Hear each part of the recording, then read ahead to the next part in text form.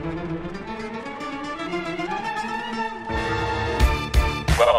to Rae and Tay today. Talking sports with friends.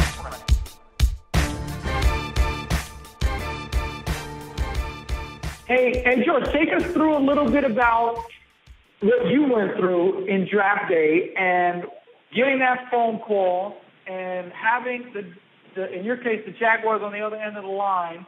And what, what's that whole experience like? The build up, the phone call. What do they say on the phone call? How was all that for you? Um, my my uh, mine was a little bit different. Um, so kind of start uh, kind of toward the. Uh, I was I was projected to go second, third round, and um, and I I started getting calls at the end of the um, at the end of the first round, and um, Kiper had me as the 32nd best available player, and everybody else expected me to go second and third third round, and I kept falling and falling and falling. I saw five tight ends get drafted before me, and I actually had a chance to speak with uh, Bill Parcells and um, and a couple other GMs, and it's funny because they took Witten uh, that that draft, and and uh, da- Dallas Clark was the first pick draft to uh, the Colts, the first tight end chosen in the first round to the Colts, and I had a chance Right. to talk to a couple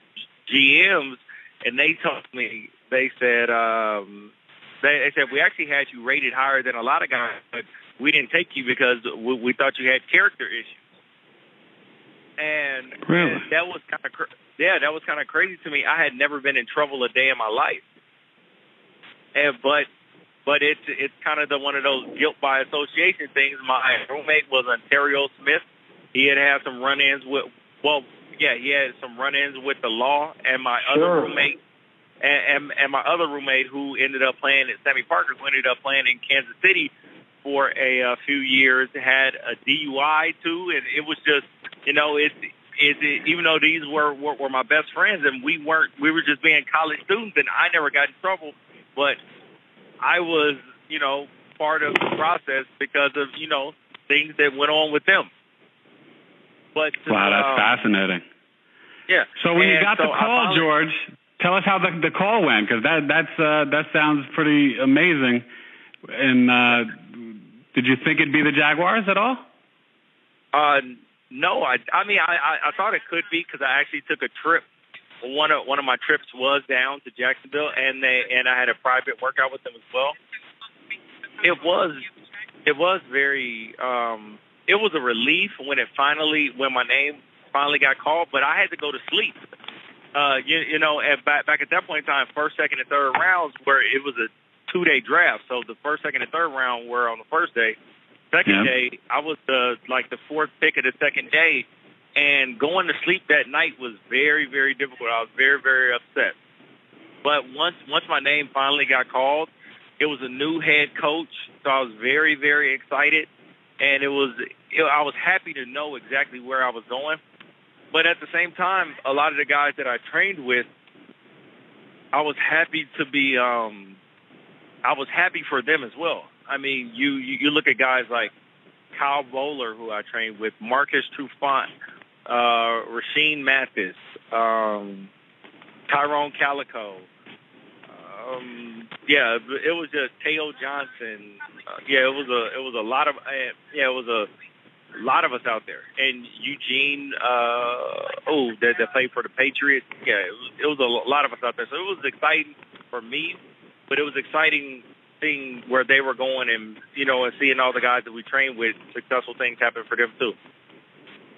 That's awesome, George. That's a great, uh, uh, you know, brings it brings it to reality. So what happens? So you're in college, you're a college student, you get this call, and then I forget how training camp works. You know, when you were drafted, which wasn't that long ago, but did you then go for a week or two to Jacksonville, and then that was Yeah, the OTAs. It was pretty immediate, right?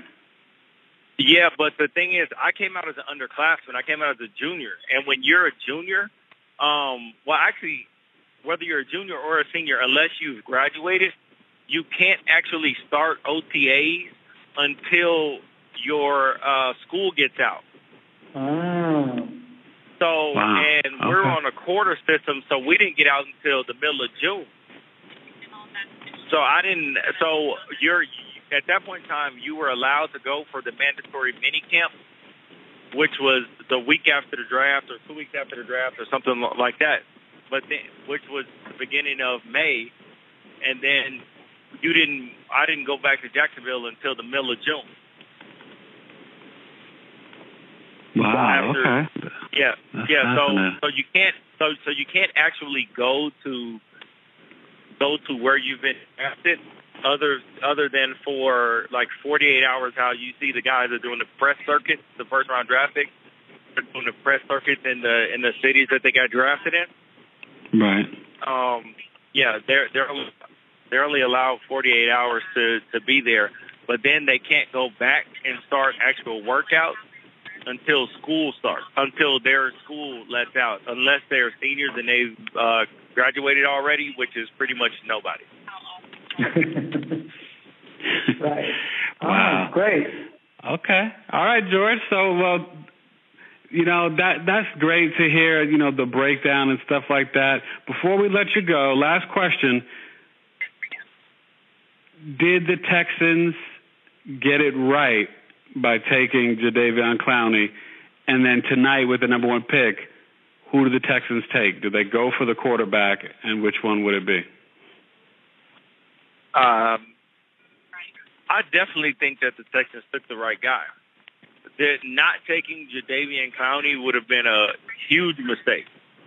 Al- Right. Although, li- listen, this, this kid, because of his work ethic, is going to determine how good he can be. Because when when you look at him, this kid has the physical attributes, and he's and he's shown on film that he can be a game wrecker. So you're either looking at at Vernon Gholston from Ohio State, the bus.